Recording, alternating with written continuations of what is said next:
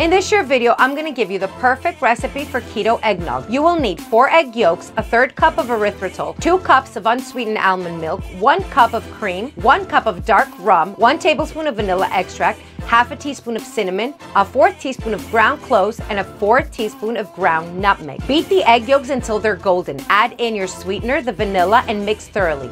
In a saucepan, heat the milk and cream together and gently bring to a boil. Slowly add in the milk and the egg mixture, whisking as you add it. Add the cinnamon and ground cloves. Return the mixture to the saucepan on medium heat and whisk until the liquid is starting to thicken. Remove from the heat and stir in the rum. Pour it into a jug and there you have your perfect keto eggnog.